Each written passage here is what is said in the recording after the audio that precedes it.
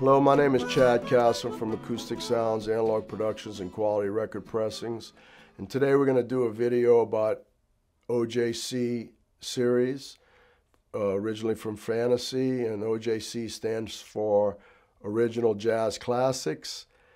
And uh, the reason why this video, uh, I decided to make this video is because all of a sudden I just started seeing the prices of OJCs going through the roof, and it was like, wow, you know, this was a budget series that we sold forever. I mean, in fact, we're going to be selling a bunch of these and also and uh, some other labels I'll get into before the end. But like the OJCs, they started in 1982 and they went to about 2002. The first one was Milt Jackson, and they made about a thousand OJCs, again from uh, 1982 to 2002. The president of Fantasy, Ralph Kaffel, is the one that came up with the great idea of reissuing the labels they owned and calling it OJC. But if you look at, they started at 698 in 1982. Then they went to about $10. We sold them for years, and you know, people they sold fairly well and people appreciated them. I mean, to me, I always liked them because to find the original these things were almost impossible. And then when you found the original, they were usually scratched or beat up, or even if you found one that hadn't been played, there was crappy vinyl back then that was used. So I always really liked the OJCs, but you know, a lot of people, oh, they want the original, and, and hey, okay, we'd sell them the original too. But I liked having both actually, you know, and uh, and I really thought that a lot of the OJC sounded better than the originals, and for the price and how clean and new they were, um, and then there, some of them were just impossible to find the originals, you know. And just a little background on Fantasy. Fantasy was a jazz label in, in California that had Dave Brubeck on their label. They had Vince Guaraldi. They made the famous Charlie Brown Christmas record.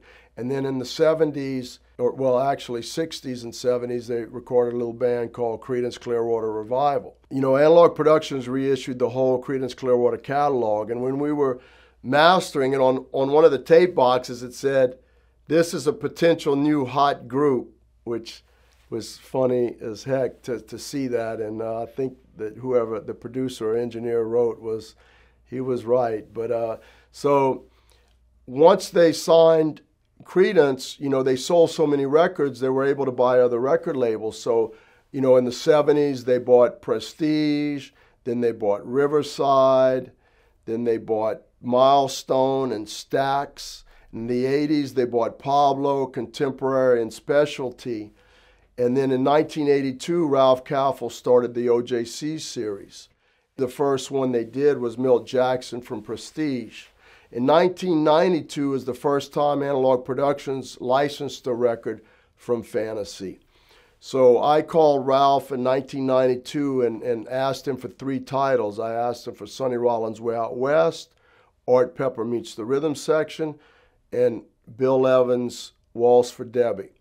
So that's when we started. And we had Doug Sax master these off the original master tapes with Tube Electronics. We had RTI press them. We had Stoughton make the jackets, and they sold quite quite well, and people loved them. They got good reviews, and they go for a lot of money now.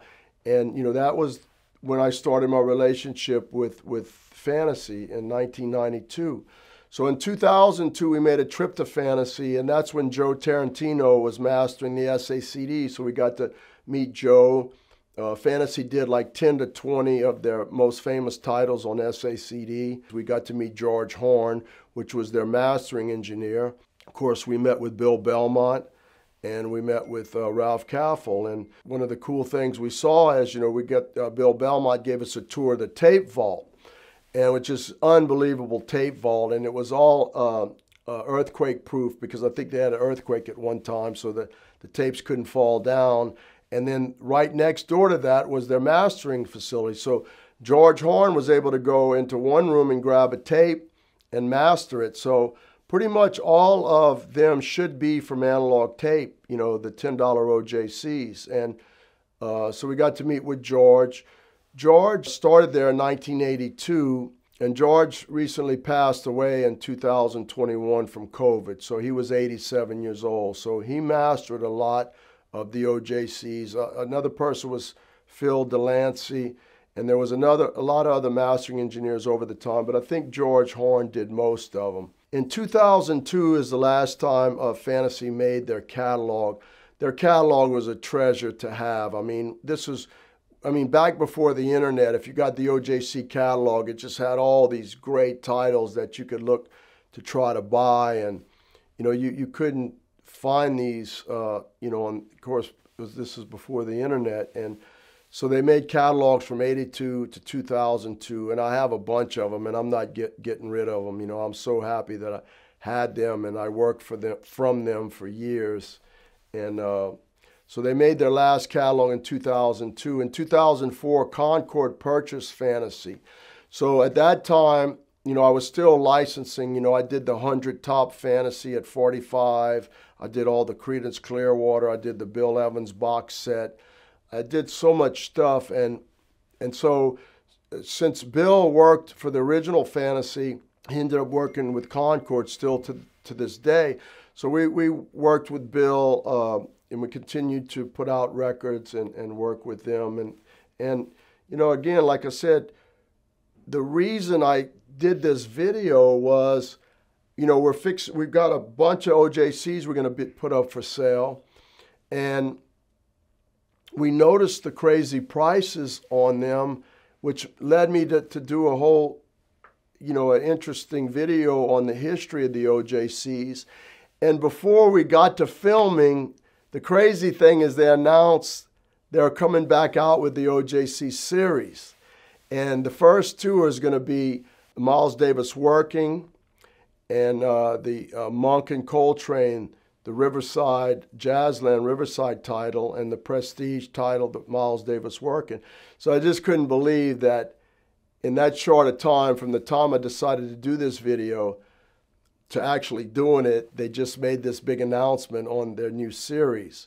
So we'll talk about uh, the series that we had going right now, because this is hot as, as heck too, is we did 25 mono prestige and we did 25 stereo prestige.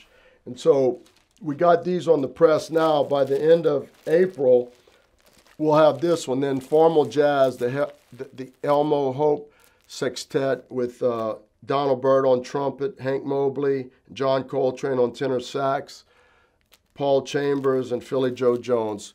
This is a very rare record that's great with a, a really great lineup, a good record. This will be here by the end of April.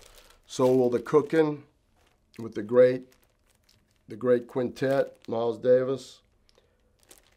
Miles Davis cooking, Scott just squeezed me on here in My Funny Valentine classic record by the end of April. Same with The Relaxing, Steaming, and John Coltrane Lush Life. These should be here by the end of April. They're pressed at QRP, Quality Record Pressings, mastered off the original analog tape by Kevin Gray, and the Stoughton Jackets. Then by the end of May, we'll have one of my favorites, the Gene Ammons Boss Tenor. This thing is audiophile sound, and it is one of my favorites. This is a killer. Uh, it's got some congas on it, and it's real bluesy and soulful, and it's got a lot of reverb in it. Man, it, it, this is a great album. Highly recommended. Booker Ervin, The Freedom Book, and Rollins Plays Bird. Sonny Rollins Plays Bird. Those should be there by the end of May. So the other thing is we're going to put these OJCs up for sale. We have a, a about 50 Blue Note Connoisseur reissues sealed. We have about 50 of the Impulse series reissues they did in 1997. So we got a lot of uh, jazz albums that we're going to put on the vinyl vault at the same time. It's just an interesting time. So many great records coming out, and they're just everybody is up in their game trying to make the best records, press at the best place, use the best mastering facilities, use analog tape. But anyway, we appreciate your business. Thanks for your support. Look forward to more great jazz albums coming out on Analog Productions, more great jazz albums coming out on the Analog Production or the Acoustic Sounds contemporary series, and also the new OJC series. We're going to be selling them, and we look forward to getting those titles in. So thanks for supporting Acoustic Sounds, Vinyl Vault, Quality Record Pressings, and uh, hopefully the uh, for those that didn't know about OJCs and the history of fantasy, uh, hopefully you learned something. So thank you. Please like and subscribe for more audiophile content.